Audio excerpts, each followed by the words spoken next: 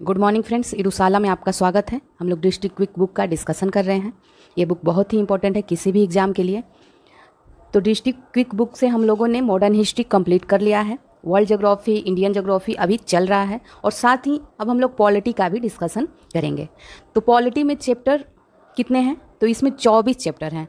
ठीक है? तो इसे जल्द से जल्द कंप्लीट किया जाएगा। और इसमें चैप्टर वन जो है राज व्यवस्था एक परिचय है, जो कि मेंस के लिए ज़्यादा इम्पोर्टेंट है। ठीक है? तो इसे बाद में देखेंगे, इसका डिस्कशन बाद में करेंगे, और इसीलिए चैप्टर टू का डिस्कशन शुरू करते हैं। ठीक है? तो चैप्टर टू से हम लोग पॉलिटी देखेंगे, और इसमें देख लेते हैं कि हम लोग क्या क्या पढ़ने वाले हैं चैप्टर टू में। ठीक है?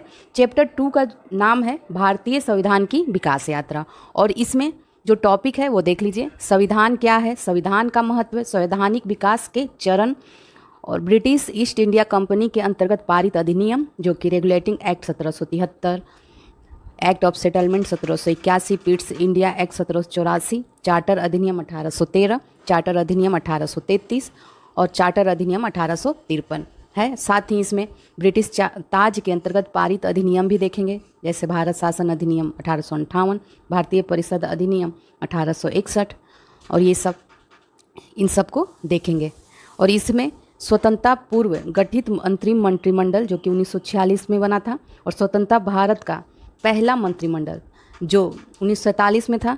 और साथ ही इसमें प्रारंभिक एवं मुख्य परीक्षा हेतु जो अभ्यास प्रश्न दिए हुए हैं, उसे भी देखेंगे। तो चलिए शुरुआत करते हैं। स्टार्ट करने से पहले अगर आपको वीडियो अच्छा लगता है तो आप उसे लाइक करें, शेयर करें, कमेंट करें। साथ ही अगर आप चैनल पर नए हैं तो आप चैनल को सब्सक्राइब करके बेल आइकन को प्रेस कर दें ताकि आपको नए नए वीडियो मिलता रहे। ठीक है? चैप्टर है भारतीय संविधान की विकास यात्रा। ठीक है? तो सबसे पहले देखते हैं, संविधान क्या है? संविधान नियमों, उपनियमों का एक ऐसा लिखित दस्तावेज़ है जिसके अनुसार सरकार का संचालन किया जाता है। यह देश की राजनीतिक व्यवस्था का बुनियादी ढांचा निर्धारित करता है। संविधान राज्य की विधायिका कार्यपालिका, न्यायपालिका की स्थापना, उनकी शक्तियों तथा दायित्वों का सीमांकन एवं जनता तथा राज्य के मध्य संबंधों का विनियमन करता है। ठीक है? प्रत्येक संविधान उस देश के आदर्शों, उद्देश्यों व मूल्यों का दर्पण होता है। संवैधानिक विधि देश की सर्वोच्च विधि होती है तथा सभी अन्य विधियाँ इसी पर आधारित होती है। संविधान एक जड़ दस्तावेज़ नहीं होता बल्कि यह निरंतर पनपता रहता है। वर्षों से चली आ रही परंपराएँ भी देश के शासन में महत्वपूर्ण भूमिका निभाती है। ठीक है? अब देख लेते हैं, संविधान का महत्व क्या है? संविधान यह सुनिश्चित करता है कि कानून कौन बनाएगा। यह समाज में शक्ति के मूल वितरण को स्पष्ट करता है। यह समाज में निर्णय लेने की शक्ति किसके पास होगी? तथा सरकार का निर्माण कैसे होगा निर्धारित करता है। यह समाज की आकांक्षाओं एवं लक्ष्यों को अभिव्यक्त करता है एवं न्यायपूर्ण समाज की स्थापना हेतु उचित परिस्थितियों के निर्माण को सुनिश्चित करता है। न्यूनतम समन्वय व आपसी विश्वास हेतु। यह समाज को बुनियादी पहचान प्रदान करता है। संविधान राज व्यवस्था के तीन प्रमुख अंगों कार्यपालिका, विधायिका एवं न्यायपालिका की स्थापना करता है तथा उनकी शक्तियों एवं अधिकारों को परिभाषित करता है। यह राज्य के अंगों के अधिकार को मर्यादित कर उन्हें निरंकुश एवं तानाशाह होने से रोकता है। ठीक है? संविधान एक आईना है जिसमें उस देश के भूत भविष्य वर्तमान की झलक मिलती है। संविधान और राज्य व्यवस्था के अनेक उपादान ब्रिटिश शासन से ग्रहण किए गए हैं। ब्रिटिश द्वारा समय समय पर लाए गए अधिनियमों ने भारतीय सरकार और प्रशासन की विधिक रूपरेखा या ढांचा तैयार किया है। अब देख लेते हैं संवैधानिक विकास के चरण, ठीक है? तो यह दो चरणों में हुआ है, भारत का संवैधानिक विकास, एक तो ब्रिटिश ईस्ट इंडिया कंपनी के अंतर्गत पारित अधिनियमों द्वारा, जो कि सत्रह से अठारह सौ तिरपन तक रहा और एक ब्रिटिश ताज के अंतर्गत पारित अधिनियमों द्वारा, जो अठारह से उन्नीस सौ सैंतालीस तक चला। ब्रिटिश ईस्ट इंडिया कंपनी के अंतर्गत पारित अधिनियम हम लोग अब देखेंगे, ठीक है? तो रेगुलेटिंग एक्ट सबसे पहले यही था। रेगुलेटिंग एक्ट सत्रह सौ तिहत्तर। इस अधिनियम के द्वारा भारत में कंपनी के शासन हेतु पहली बार एक लिखित संविधान प्रस्तुत किया गया। भारतीय संवैधानिक इतिहास में इसका विशेष महत्व यह है कि इसके द्वारा भारत में कंपनी के प्रशासन पर ब्रिटिश संसदीय नियंत्रण की शुरुआत हुई। इस अधिनियम के प्रमुख प्रावधान देख लेते हैं। बम्बई तथा मद्रास प्रेसिडेंसी को कलकत्ता प्रेसिडेंसी के अधीन कर दिया गया। कलकत्ता प्रेसिडेंसी में गवर्नर जनरल एवं चार सदस्यों वाली परिषद के नियंत्रण में सरकार की स्थापना की गई। कलकत्ता में एक सुप्रीम कोर्ट की स्थापना सत्रह सौ चौहत्तर में की गई, जिसके अंतर्गत बंगाल, बिहार और उड़ीसा शामिल थे। सर एलिजा इम्पे को इसका प्रथम मुख्य न्यायाधीश नियुक्त किया गया तथा चेम्बर्स लिमेस्टर एवं हाइड को अन्य न्यायाधीश नियुक्त किया गया। ठीक है? अब देखते हैं आगे भारत के सचिव की पूर्व अनुमति पर गवर्नर जनरल तथा उसकी परिषद चार सदस्य को कानून बनाने का अधिकार प्रदान किया गया। अब बंगाल के गवर्नर को तीनों प्रेसिडेंसियों का गवर्नर जनरल कहा जाने लगा। इस एक्ट के तहत बनने वाले बंगाल के प्रथम गवर्नर जनरल कौन थे? लॉर्ड वारेन हेस्टिंग्स थे। इस एक्ट के तहत कंपनी के कर्मचारियों को निजी व्यापार व भारतीय लोगों से उपहार या रिश्वत लेने को प्रतिबंधित कर दिया गया। कंपनी पर British court of directors, company की गवर्निंग बॉडी है, का नियंत्रण बढ़ गया।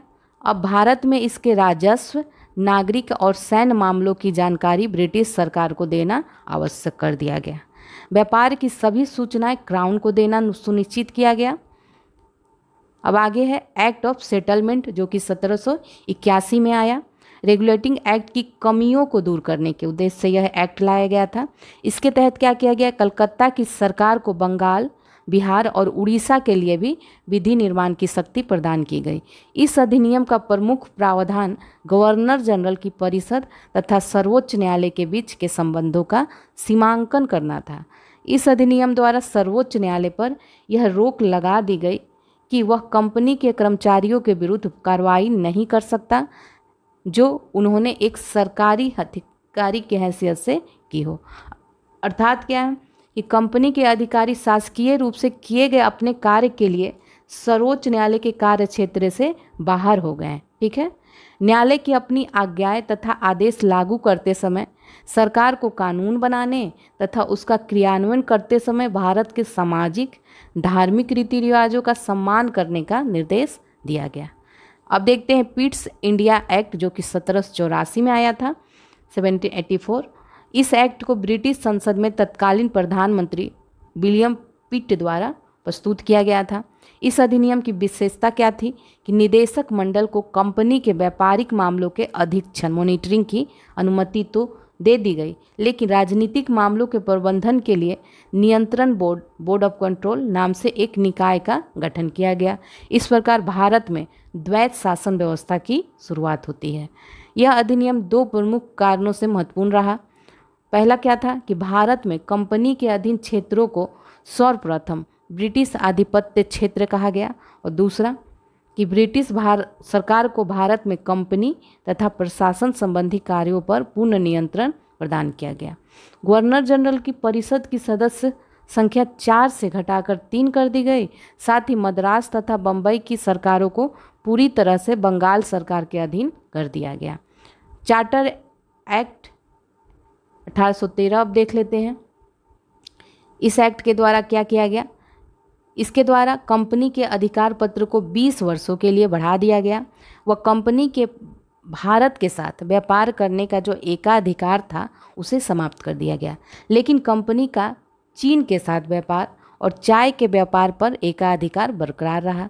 कुछ सीमाओं के तहत भारत के साथ व्यापार करने हेतु सभी ब्रिटिश वासियों के लिए मुक्त व्यापार की अनुमति दे दी गई। ईसाई मिशनरियों को भारत में धर्म प्रचार की अनुमति दी गई। भारत में शिक्षा के लिए प्रतिवर्ष एक लाख रुपए खर्च करने का प्रावधान भी किया गया। इस अधिनियम के तहत पहली बार भारत में ब्रिटिश क्षेत्र की संवैधानिक स्थिति की स्पष्ट रूप से परिभाषित किया गया। अब चार्टर एक्ट 1833 में आ जाते हैं। इस अधिनियम के निर्माण का प्रमुख ध्येय ब्रिटिश सरकार द्वारा 1833 के विधि निर्माण को तथा विधि निर्माण संबंधी कार्यों को स्पष्ट करना था। इसमें प्रमुख परिवर्तन किए गए कि कंपनी का जो व्यापारिक अधिकार था, उसे पूर्णतः समाप्त कर दिया गया। अब कंपनी का कार्य ब्रिटिश सरकार की ओर से केवल भारत पर शासन करना रह गया था। बंगाल के गवर्नर जनरल को भारत का गवर्नर जनरल कहा जाने लगा तथा गवर्नर जनरल की सभी नागरिक और सैन्य शक्तियाँ प्रदान की गई। भारत का प्रथम गवर्नर जनरल कौन था? बना लॉर्ड विलियम बेंटिंग बना। मद्रास और बम्बई के गवर्नर को विधायिका शक्ति से वंचित कर दिया गया। भारत के गवर्नर जनरल को पूरे ब्रिटिश भारत में विधि बनाने का अधिक, एकाधिकार दे दिया गया। इसके अंतर्गत पहले बनाए गए कानूनों को नियामक कानून कहा गया और नए कानून के तहत बने कानूनों को एक्ट या अधिनियम कहा गया। अभी तक गवर्नर जनरल की कार्यकारिणी में तीन सदस्य होते थे, किंतु विधिक परामर्श हेतु गवर्नर जनरल की परिषद में विधि सदस्य के रूप में चौथे सदस्य को शामिल किया गया। गवर्नर जनरल की परिषद को राजस्व के संबंध में पूर्ण अधिकार प्रदान करते हुए गवर्नर जनरल को संपूर्ण देश के लिए एक ही बजट तैयार करने का अधिकार दिया गया। भारतीय कानूनों का वर्गीकरण किया गया व इस कार्य के लिए विधि आयोग का गठन किया गया। लॉर्ड मैकाले की अध्यक्षता में प्रथम विधि आयोग गठन किया गया। लॉर्ड मैकाले की अध्यक्षता। में इस एक्ट के तहत सिविल सेवकों के चयन के लिए खुली प्रतियोगिता का आयोजन शुरू करने का प्रयास किया गया। इस एक्ट के द्वारा स्पष्ट कर दिया गया कि कंपनी के प्रदेशों में रहने वाले किसी भी भारतीय को केवल धर्म, जाति, वंश, रंग या जन्म स्थान के आधार पर कंपनी के किसी पद से, जिसके लिए यह योग्य हो, वंचित नहीं किया जाएगा। हालाँकि कोर्ट ऑफ़ डायरेक्टर के विरोध के कारण यह प्रावधान लागू नहीं हो सका। भारत में दास प्रथा को गैर कानूनी घोषित किया गया तथा गवर्नर जनरल को निर्देश दिया गया कि भारत में दास प्रथा को समाप्त करने के लिए आवश्यक कदम उठाएँ। ठीक है? भारत में ब्रिटिश राज्य के दौरान संविधान निर्माण के प्रथम संकेत इस एक्ट में मिलते हैं। अब देख लीजिए, चार्टर एक्ट अठारह सौ तिरपन, इसका निर्माण तत्कालीन विधायिका को सशक्त बनाने के लिए तथा उसके विस्तार में सहयोग देने के लिए किया गया। इसके प्रमुख लक्षण देख लेते हैं। इसने पहली बार गवर्नर जनरल की परिषद के विधायी एवं प्रशासनिक कार्यों को अलग कर दिया। विधायी और प्रशासनिक कार्य को अलग कर दिया गया। इसके तहत गवर्नर जनरल की परिषद में जब वो विधायिका के रूप में कार्य कर हो छः नए सदस्यों की वृद्धि की गई, जिससे विधान परिषद में अब कुल सदस्य संख्या बढ़कर बारह हो गई। इन नए छः नए सदस्यों में बंगाल के मुख्य न्यायाधीश, कलकत्ता उच्चतम न्यायालय का एक न्यायाधीश और बंगाल, मद्रास बम्बई आगरा प्रांत के एक एक प्रतिनिधि शामिल थे।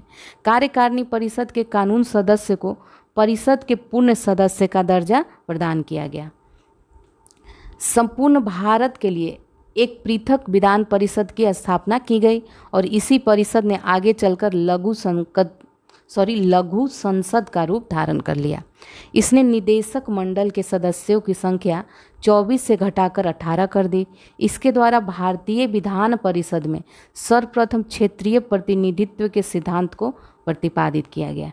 इस अधिनियम के द्वारा प्रमुख सरकारी सेवाओं में नामजदगी का सिद्धांत समाप्त कर कंपनी के महत्वपूर्ण पदों को प्रतियोगी परीक्षाओं के माध्यम से भरने की व्यवस्था की गई और पहली बार सिविल सेवाओं में भारतीयों को शामिल करने का प्रावधान किया गया। ठीक है? तो ये तो था ब्रिटिश ईस्ट इंडिया कंपनी के अंतर्गत पारित अधिनियम द्वारा शासन जो था। अब देखते हैं ब्रिटिश ताज के अंतर्गत। ठीक है? पारित अधिनियम। तो यह भारत शासन अधिनियम अठारह देखते हैं, अठारह की क्रांति होती है, उसके बाद ब्रिटिश क्राउन ने भारत का शासन कंपनी के हाथों से ले लिया। इस अधिनियम के तहत संवैधानिक व्यवस्था में परिवर्तन किए गए। जो देख लेते हैं, कोर्ट ऑफ़ डायरेक्टर्स तथा बोर्ड ऑफ़ कंट्रोल को समाप्त कर दिया गया। उसके अधिकार ब्रिटिश मंत्रिमंडल के एक सदस्य को सौंपे गए। ब्रिटिश मंत्रिमंडल के उस सदस्य को भारत राज सचिव का पद प्रदान किया गया, ठीक है? दूसरी चीज़ कि भारत राज सचिव की सहायता के लिए एक पंद्रह सदस्यीय भारत परिषद का गठन किया गया, जिसके सदस्यों को वेतन भारतीय राजस्व से दिया जाता था, ठीक है? तो ये भारतीय राजस्व से इसे वेतन दिया जाता था। ये जो पंद्रह सदस्यीय भारत परिषद का गठन हुआ है, उसमें भारत सचिव सहित पंद्रह सदस्य थे। ठीक है? इस अधिनियम के तहत और क्या की गई? व्यवस्था की गई कि इन सदस्यों में कम से कम आधे ऐसे सदस्य हों जो भारत में दस वर्ष तक सेवा दे चुके हों और नियुक्ति के समय उन्हें भारत से आए अधिक से अधिक दस वर्ष हुए हों। ठीक है? भारतीय मामलों पर ब्रिटिश संसद का सीधा नियंत्रण स्थापित हो गया। मुगल सम्राट के पद को समाप्त कर दिया गया। भारत का राज्य सचिव अपने कार्यों के लिए ब्रिटिश संसद के प्रति उत्तरदायी होता था। भारत के जो गवर्नर जनरल थे, उनको वायसराय की उपाधि दी गई तथा वह वह क्राउन का सीधा प्रतिनिधि बन गया। और इस तरह भारत का प्रथम वायसराय कौन बना? तो लॉर्ड कैनिंग बना। गवर्नर जनरल को द वायसराय ऑफ़ इंडिया का पदनाम भी दिया गया। वह प्रतिवर्ष भारत की नैतिक एवं आर्थिक प्रगति की रिपोर्ट ब्रिटिश संसद के समक्ष प्रस्तुत करता था। ठीक है? अब देखते हैं भारत परिषद अधिनियम 1861 तो 1861 भारत के संवैधानिक इतिहास में एक महत्वपूर्ण घटना है, क्योंकि इसके द्वारा भारत सरकार की मंत्रिमंडलीय व्यवस्था की नींव रखी गई। इस अधिनियम के प्रमुख प्रावधान देख लेते हैं। इस अधिनियम द्वारा कार्यकारी परिषद के सदस्यों की संख्या चार से बढ़ाकर पाँच कर दी गई। इसमें तीन सदस्य जो होते थे, प्रशासनिक सेवा के होते थे, जिनको भारत में रहने का दस वर्ष का अनुभव होना आवश्यक था। और शेष जो दो सदस्य थे, उनमें से एक को पाँच वर्ष विधि संबंधी अनुभव प्राप्त होना आवश्यक था। ठीक है? वायसराय की विधान परिषद में न्यूनतम छः और अधिकतम बारह अतिरिक्त मनोनीत सदस्यों का प्रावधान किया गया था। इनमें कम से कम आधे सदस्यों का गैर सरकारी होना आवश्यक था, किंतु इनकी शक्तियाँ विधि निर्माण तक ही सीमित थी। अठारह सौ बासठ में लॉर्ड कैनिंग ने तीन भारतीयों, बनारस के राजा, पटियाला के महाराजा और सर दिनकर राव को विधान परिषद में मनोनीत किया। वायसराय को विधानसभा में भारतीयों के नाम निर्दिष्ट करने की शक्ति प्रदान की गई। यह राज्य सचिव के नियंत्रण तथा निरीक्षण में किया जाता था।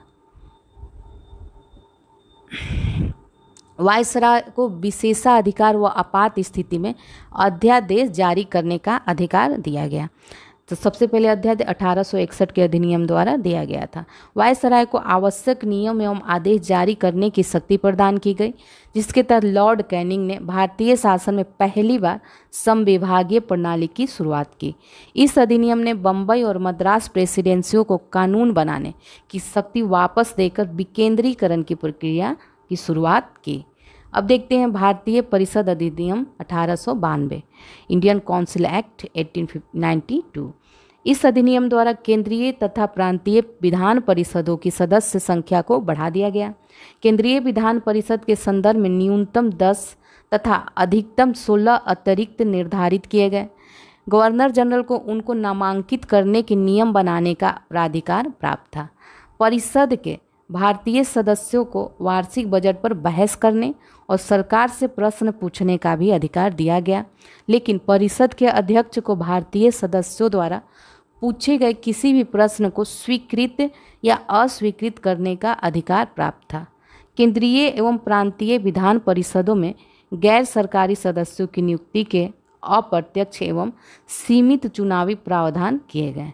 हालाँकि अठारह सौ बानवे के अधिनियम में चुनाव शब्द का प्रयोग नहीं हुआ था। नोट देख लेते हैं। भारतीय परिषद अधिनियम अठारह सौ बानवे, भारतीय राष्ट्रीय कांग्रेस के अठारह सौ नवासी से अठारह सौ इक्यानवे तक के अधिवेशनों में स्वीकार किए गए प्रस्तावों से प्रभावित होकर पारित किया गया था। अब देखते हैं, भारतीय परिषद अधिनियम मार्ले मिंटो सिद्धार जिसे कहते हैं 1909 ठीक है? इंडियन काउंसिल एक्ट नाइन ठीक है? इस अधिनियम द्वारा परिषदों व उनके कार्य क्षेत्रों का अधिकार अधिक विस्तार किया गया।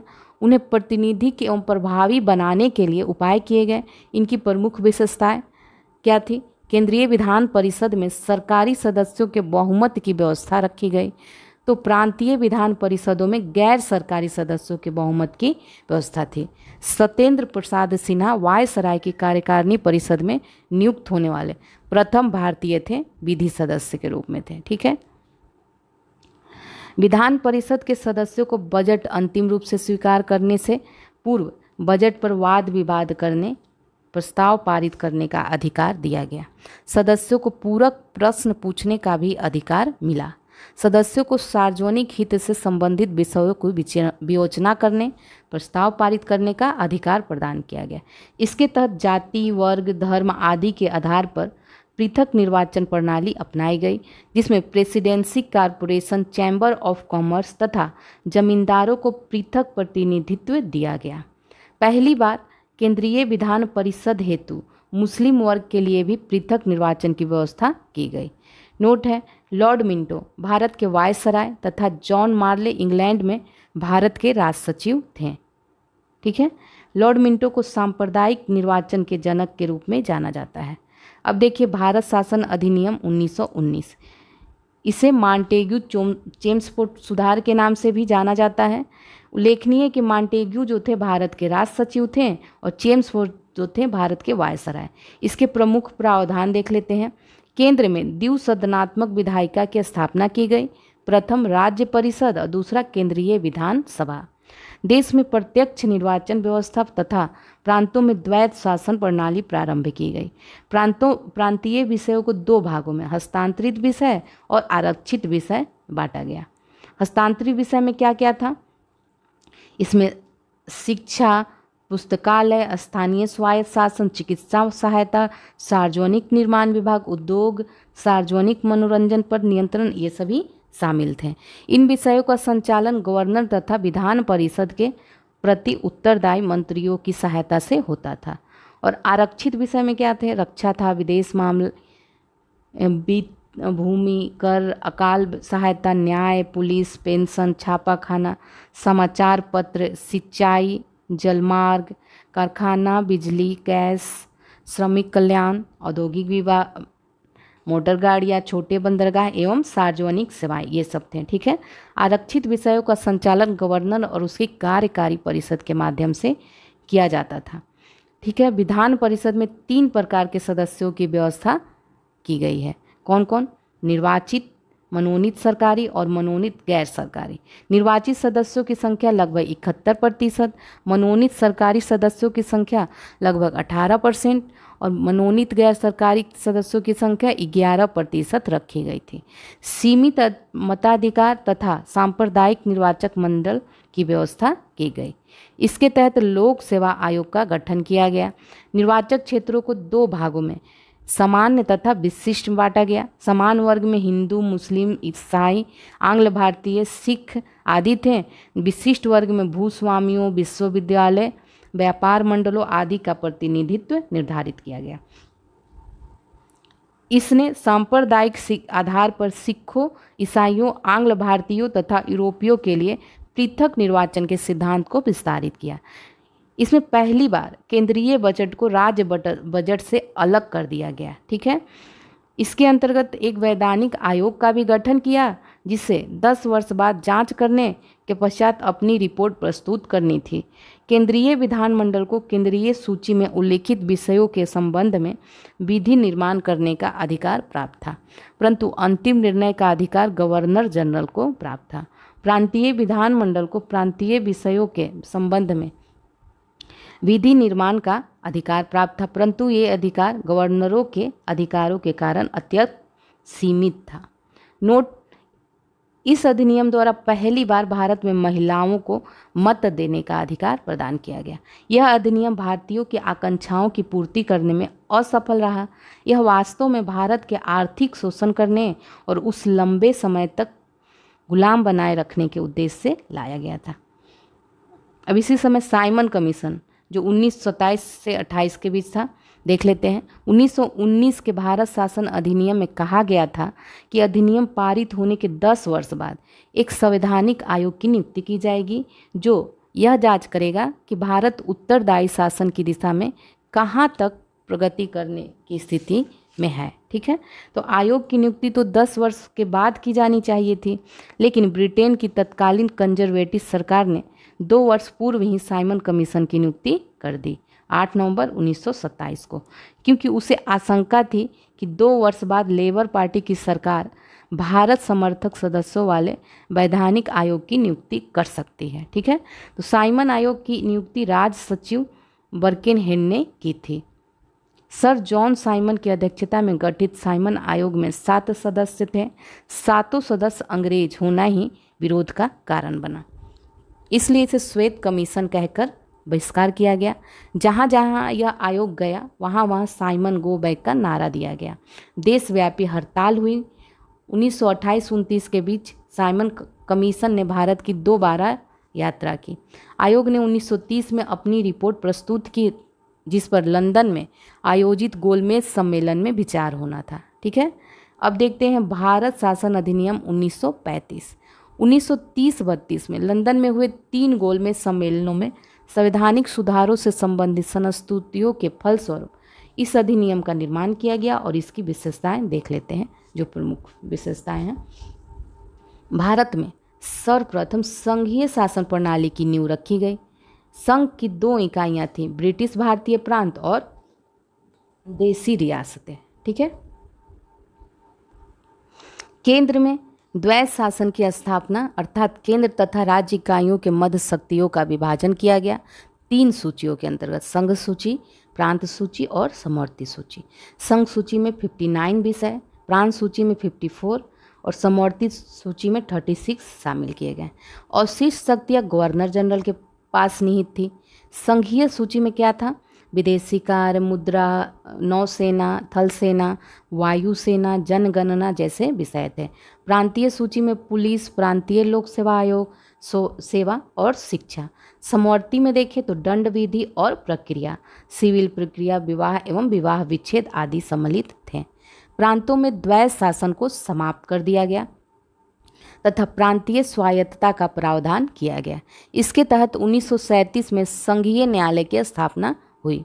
इस अधिनियम द्वारा भारत परिषद को समाप्त कर दिया गया एवं विवादों के निपटारे के लिए संघीय न्यायालय की स्थापना की गई, जो अंतिम न्यायालय नहीं था, अंतिम अपीलीय न्यायालय प्रीवी काउंसिल होता था। वर्मा, ठीक है, जो वर्तमान म्यांमार को कहते हैं, वर्मा को भारत से उन्नीस सौ सैंतीस में अलग कर दिया गया। प्रांतीय विधान मंडलों का विस्तार किया गया। प्रांतों में 11 में से छः विधान मंडलों में दो सदनों की व्यवस्था की गई। छः प्रांत, असम, बंगाल, बिहार बम्बई मद्रास एवं संयुक्त प्रांत। यहाँ पे दो सदनों की व्यवस्था की गई। इसके अंतर्गत मुद्रा और साख पर नियंत्रण के लिए भारतीय रिज़र्व बैंक की स्थापना की गई। इसने दलित जातियों, महिलाओं और मजदूर वर्ग के लिए अलग से निर्वाचन की व्यवस्था की। मताधिकार का विस्तार हुआ। लगभग 10 प्रतिशत जनसंख्या को मत का अधिकार प्राप्त हुआ। इससे ने न केवल फेडरल लोक सेवा आयोग की स्थापना की, बल्कि प्रांतीय सेवा आयोग और दो या दो से अधिक राज्यों के लिए संयुक्त सेवा आयोग की भी स्थापना हुई। ठीक है? नोट 1935 का भारत शासन अधिनियम जुलाई 1936 में लागू हुआ और इसके प्रावधानों के आधार पर उन्नीस सौ सैंतीस में चुनाव होता है, जिसमें कांग्रेस को पाँच स्थानों पर पूर्ण बहुमत मिलता है और असम तथा पश्चिमोत्तर भारत में कांग्रेस की मिलीजुली सरकार और पंजाब में यूनियन ईस्ट पार्टी का बनती है और बंगाल में कृषक प्रजा पार्टी और सिंध में मुस्लिम लीग की सरकार बनती है। ठीक है? अब देखिए क्रिप्स मिशन, जो 1942 में Cripps mission sir Stafford Cripps के नेतृत्व में ब्रिटिश सरकार द्वारा भेजा गया एक मिशन था, जिसका उद्देश्य था द्वितीय विश्व युद्ध के समय अपने लिए भारत का पूर्ण सहयोग प्राप्त करना था। चर्चिल ने 11 मार्च 1942 ठीक है, को क्रिप्स मिशन की घोषणा की और 12 22 मार्च 1942 को क्रिप्स मिशन भारत पहुँचा। क्रिप्स मिशन की प्रस्ताव की विशेषताएँ देख लेते हैं। क्रिप्स ने घोषणा की कि भारत में ब्रिटिश नीति का उद्देश्य है जितनी जल्द संभव हो सके भारत में स्वशासन की स्थापना। अर्थात युद्ध के बाद भारत को डोमिनियन स्टेट्स दिया जाएगा। युद्ध के बाद एक ऐसे भारतीय संघ के निर्माण का प्रयत्न किया जाएगा जिसे पूर्ण उपनिवेश का दर्जा प्राप्त होगा और उसे राष्ट्रकुल से अलग होने का अधिकार होगा।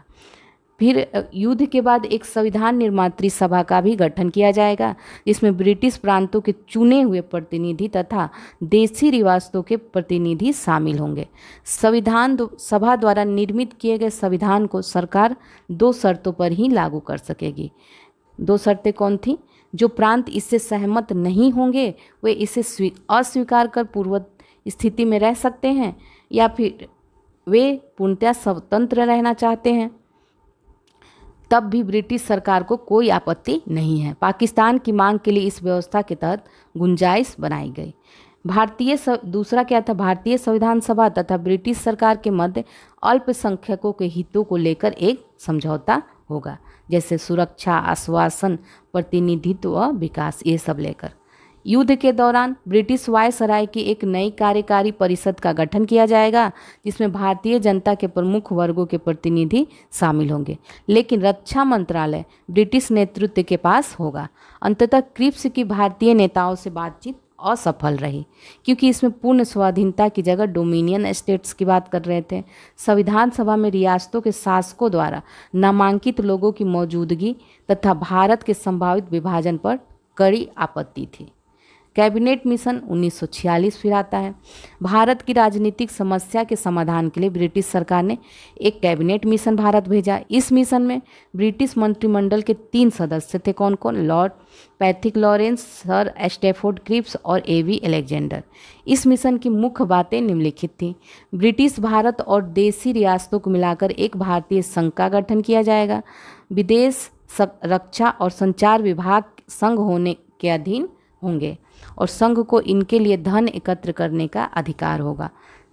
संघ की अधिकार होगा। संघ की अपनी कार्यपालिका और विधायिका होगी, जिसमें ब्रिटिश भारत तथा देसी रियासतों के प्रतिनिधि शामिल होंगे। अब देखिए, भारतीय स्वतंत्रता अधिनियम 1947 इस अधिनियम द्वारा माउंट बेटन योजना को वैधानिक रूप दिया गया। इसके अंतर्गत जो प्रमुख बातें थी, वो देख लेते हैं। 15 अगस्त 1947 को भारत एवं पाकिस्तान नामक दो अधिराज बना दिए जाएँगे। ब्रिटिश सरकार उनको सत्ता सौंप देगी। सत्ता का जो उत्तरदायित्व होगा, दोनों अधिराज्यों की संविधान सभा को सौंपा जाएगा। प्रत्येक अधिराज्य में गवर्नर जनरल होगा, जिसकी नियुक्ति इंग्लैंड का सम्राट करेगा। नए संविधान का निर्माण होने तक दोनों राज्यों का प्रशासन, भारत शासन अधिनियम 1935 के अनुसार के अनुसार चलाया जाएगा, ठीक है? भारत सचिव का जो पद है, उसे समाप्त कर दिया जाएगा। उसके स्थान पर राष्ट्रमंडल के सचिव की नियुक्ति होगी। देसी रियासतों पर ब्रिटेन की संप्रभुता का अंत कर दिया गया। उनको भारत या पाकिस्तान किसी भी अधिराज्य में सम्मिलित होने और अपने भावी संबंधों का निश्चय करने की स्वतंत्रता प्रदान की गई, ठीक है? अब देख लीजिए, बालकन प्लान या डिकी बर्ड प्लान या इस्मा प्लान कह लीजिए, ये सब एक ही हैं। ठीक है, यह उन्नीस सौ सैंतालीस में आया था। ये क्या था? माउंट बेटन ने भारत की आज़ादी के लिए डिकी बर्ड प्लान तैयार किया।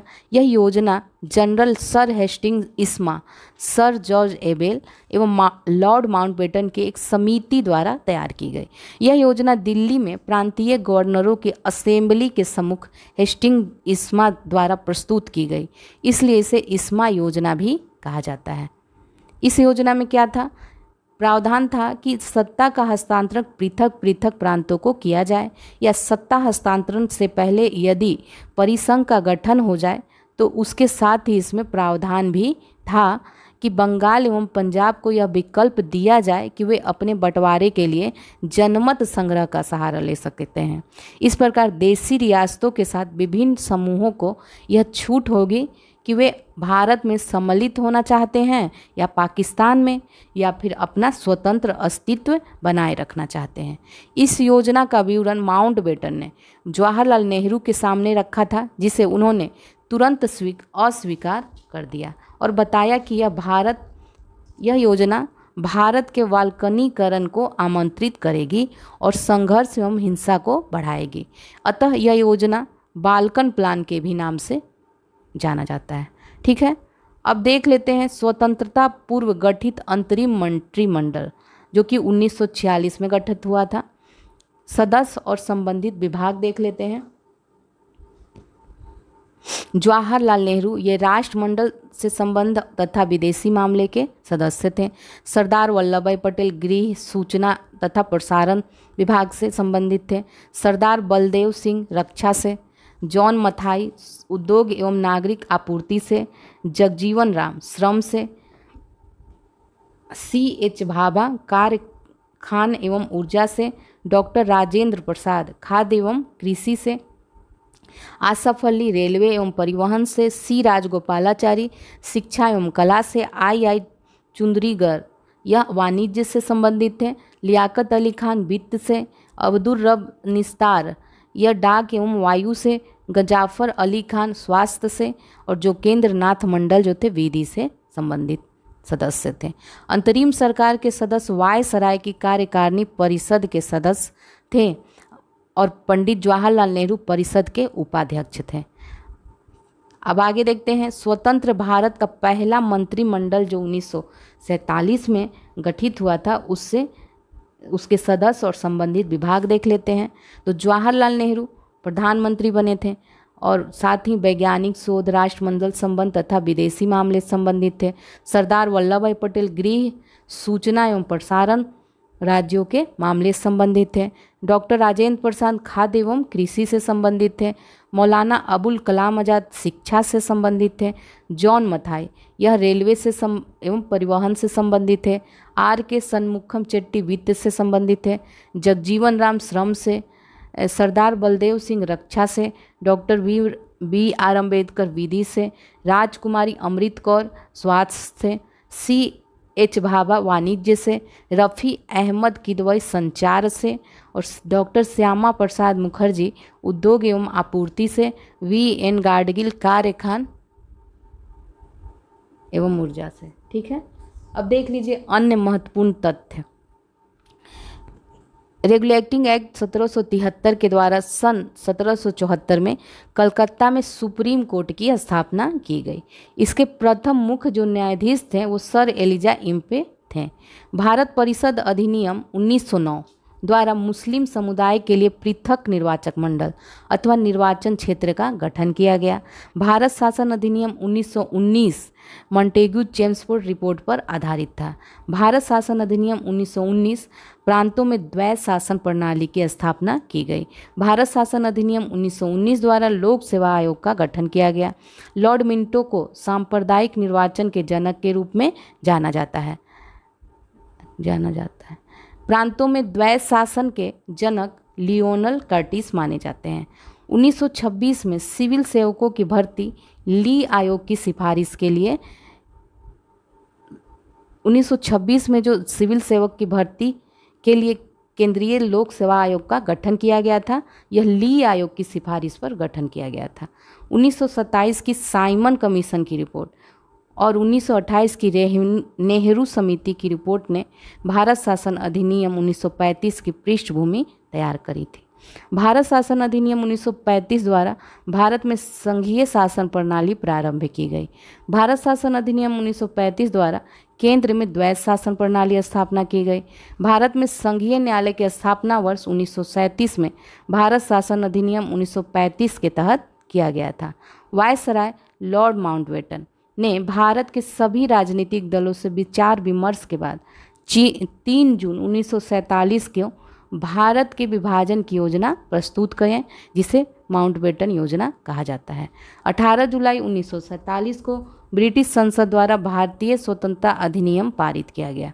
14-15 अगस्त उन्नीस सौ सैंतालीस की मध्य रात्रि को भारत में ब्रिटिश शासन की समाप्ति हुई और समस्त शक्तियाँ दो नए स्वतंत्र डोमिनियन भारत और पाकिस्तान को हस्तांतरित कर दी गई। लॉर्ड माउंटबेटन नए डोमिनियन भारत के प्रथम गवर्नर जनरल बने 15 अगस्त 1947 से 21 जून 1948 तक।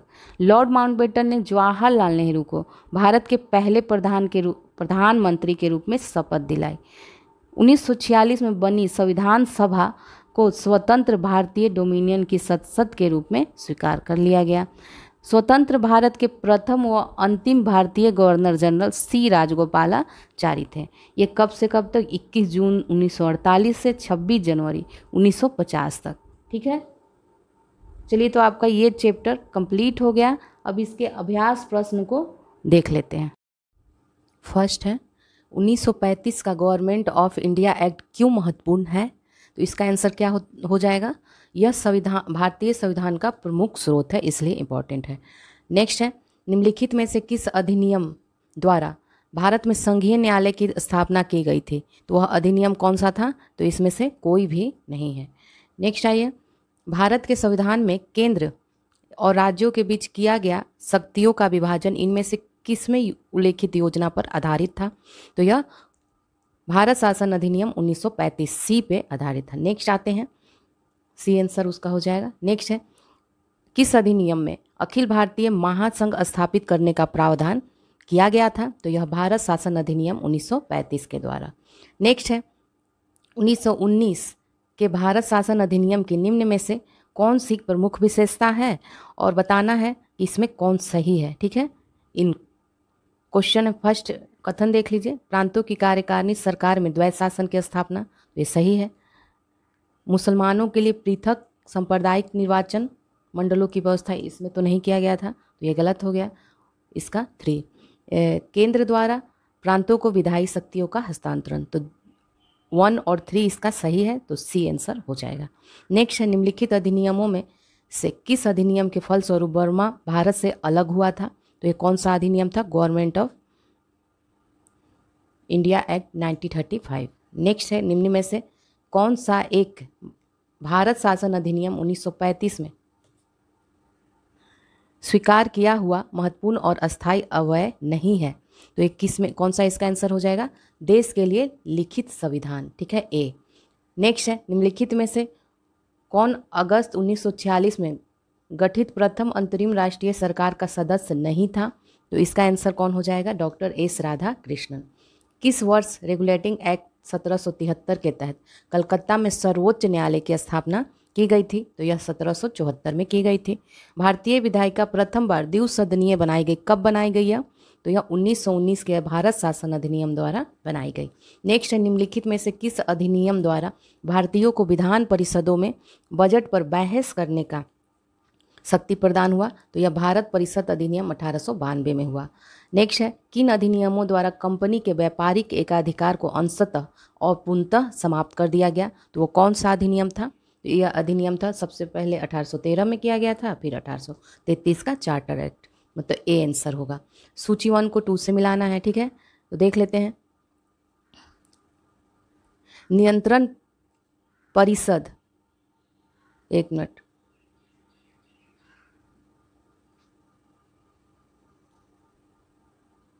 नियंत्रण परिषद की स्थापना। इसमें कौन सा है? तो यह पीट्स का भारतीय अधिनियम सत्रह सौ चौरासी में किया गया था, सर्वोच्च न्यायालय की स्थापना। नियामक अधिनियम सत्रह सौ तिहत्तर में इंग्लिश मशीनरियों को भारत में कार्य करने की अनुमति कब दी गई थी? 1813 चार्टर अधिनियम में और गवर्नर जनरल की परिषद में कानूनी सदस्य की नियुक्ति 1833 में की गई थी। तो इसका देखते हैं कुट में कौन सा आंसर हो जाएगा? तो ए का टू बी का वन यानी कि बी इसका आंसर हो जाएगा, ठीक है? नेक्स्ट है, किसकी अध्यक्षता में प्रथम विधि आयोग की स्थापना की गई थी? लॉर्ड माइकाले थे इसमें डी आंसर निम्नलिखित में से किस अधिनियम से राष्ट्रपति के अध्यादेश जारी करने की शक्ति प्रदान करी गई? प्रेरित है तो इसका आंसर कौन सा हो जाएगा? भारत शासन अधिनियम 1935 नेक्स्ट है, सरकारी सेवाओं में नामजदगी का सिद्धांत समाप्त कर कंपनी के महत्वपूर्ण पदों को प्रतियोगी परीक्षाओं के माध्यम से भरने की प्रक्रिया किस अधिनियम द्वारा शुरू की गई? तो यह अठारह सौ तिरपन का चार्टर अधिनियम था। अप्रत्यक्ष चुनाव प्रणाली का प्रारंभ किस अधिनियम से माना जाता है? तो यह अठारह सौ बानबे का भारत परिषद अधिनियम से माना जाता है। गवर्नर जनरल की कार्यकारिणी में नियुक्त होने वाले प्रथम विधि सदस्य कौन थे? तो यह कौन थे? सत्येंद्र प्रसाद सिन्हा थे। नेक्स्ट है किस अधिनियम द्वारा केंद्रीय विधान परिषद में मुस्लिम वर्ग के लिए पृथक निर्वाचन की व्यवस्था की गई है। तो की गई थी 1909 के भारतीय परिषद अधिनियम द्वारा, ठीक है? प्रांतों में द्वैत शासन के जनक कहलाते हैं तो यह लियोन नेल कर्टिस को कहा जाता है द्वैत शासन का जनक। Lionel Curtis. नेक्स्ट है बालकन प्लान, किस अधिनियम से संबंधित है? तो यह उन्नीस सौ सैंतालीस के भारतीय स्वतंत्रता अधिनियम से संबंधित है। सीमा आयोग की अध्यक्षता किसने की थी? तो यह रेड क्लिफ के द्वारा की गई थी। नेक्स्ट है स्वतंत्र भारत के प्रथम व अंतिम गवर्नर जनरल कौन थे? तो ये सी राजगोपालाचारी थे। 1935 के अधिनियम द्वारा स्थापित संघ में अवशिष्ट शक्तियाँ किसको दी गई हैं? तो यह गवर्नर जनरल को दी गई है। नेक्स्ट है किस अधिनियम द्वारा कंपनी का चीन तथा पूर्वी देशों के साथ चाय के व्यापार का एकाधिकार 20 वर्षों के लिए बढ़ाया गया था। तो किस अधिनियम द्वारा ऐसा किया था? 1813 का चार्टर अधिनियम द्वारा। निम्न में से किस वर्ष भारत में ब्रिटिश काल में बजट की व्यवस्था शुरू की गई थी? तो यह कब की गई थी? 1860 में। नेक्स्ट आते हैं निम्नलिखित में से। किस अधिनियम की कमियों को दूर करने के उद्देश्य एक्ट ऑफ़ सेटलमेंट लाया गया था? तो यह सत्रह सौ तिहत्तर का रेगुलेटिंग एक्ट की कमियों को। नेक्स्ट है 1946 के कैबिनेट मिशन में प्रमुख तीन सदस्य, ये कौन कौन थे? तो इनमें कौन थे देखते हैं? ये थे Lord Pethick Lawrence Stafford Cripps और ए वी एलेक्जेंडर नेक्स्ट है, अंतरिम सरकार 1946 में था। मुस्लिम लीग के सदस्य भी सम्मिलित थे। निम्नलिखित में कौन सदस्य मुस्लिम लीग से संबंधित नहीं था? तो इसमें कौन है? तो यह है रफ़ी अहमद किदवई नहीं था। नेक्स्ट है, इनमें से किसे स्वतंत्र भारत के प्रथम मंत्रिमंडल में शिक्षा विभाग सौंपा गया था? तो किसको सौंपा गया था? मौलाना अबुल कलाम आज़ाद को। नेक्स्ट आते हैं, केंद्र में द्वैत शासन किस अधिनियम के अंतर्गत स्थापित किया गया था? तो यह भारत शासन अधिनियम 1935 के द्वारा। नेक्स्ट निम्नलिखित में कौन सा एक रेगुल सत्रह सौ तिहत्तर के रेगुलेटिंग एक्ट का उपबंध नहीं है तो यह कौन हो जाएगा? इसने, सी, इसने योग्यताओं पर सभी प्रतिबंधों को हटाकर कोर्ट ऑफ़ प्रोपाइटर्स में मत की शक्ति को बदल दिया, ये नहीं था। आ जाते हैं नेक्स्ट क्वेश्चन में। जब भारत 15 अगस्त उन्नीस सौ सैंतालीस को स्वतंत्र हुआ और 26 जनवरी 1950 को जब उसने स्वयं को प्रभुत्व संपन्न लोकतंत्रात्मक गणराज्य घोषित किया। इस बीच की अवधि में भारत सरकार किसके उपबंधों के अधीन कार्य करती रही? तो यह भारत शासन अधिनियम 1935 के तहत। भारत सरकार अधिनियम अठारह सौ अंठावन के 1858 के संबंध में सही कथन इसमें बताना है। ठीक है? तो इसमें सही कथन कौन है? कूट में दिया हुआ है। ठीक है? तो ये कथन को पढ़ते हैं। ब्रिटिश राज ने ईस्ट इंडिया कंपनी से भारत पर संप्रभुता ग्रहण की, सही है। ब्रिटिश संसद ने भारत के शासन के लिए पहला कानून ब्रिटिश राज्य के प्रत्यक्ष शासन के अधीन ही अधिनियमित किया था। यह भी सही है। यह अधिनियम देश के प्रशासन में बिना किसी लोकप्रिय सहभागिता वाले निरंकुश साम्राज्यिक नियंत्रण के सिद्धांत से अधिशासित था। ये भी सही है। तो इसका आंसर सी हो जाएगा, वन, टू, थ्री। नेक्स्ट है, भारतीय परिषद अधिनियम अठारह सौ इकसठ के संबंध में सही है, कौन सा कथन, ये बताना है, ठीक है? ये भी कूट में दिया हुआ है। इसमें देखते हैं। फ़र्स्ट है, इस अधिनियम ने गवर्नर जनरल की शासी परिषद में एक गैर सरकारी सदस्यों को सम्मिलित कर लोकप्रियता का पुट डाल दिया, ठीक है? तो ये सही है।